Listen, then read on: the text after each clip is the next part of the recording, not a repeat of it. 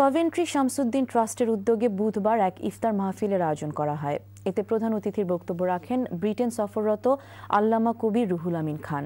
আমাদের কভেন্ট্রি প্রতিনিধি নোমান রাজা জানান, বুধবার বিকেলে স্থানীয় শাহজালাল মসজিদে আয়োজিত ইফতার মাহফিলে সম্পূর্ণ পারিবারিক দানে বাংলাদেশের ফেঞ্চুগঞ্জের মানিককোনা গ্রামে পরিচালিত শামসুদ্দিন ট্রাস্টের বিভিন্ন সেবামূলক প্রকল্পের বিস্তারিত বিবরণ অনুষ্ঠানে প্রজেক্টরের মাধ্যমে আগতদের সামনে তুলে ধরা হয়।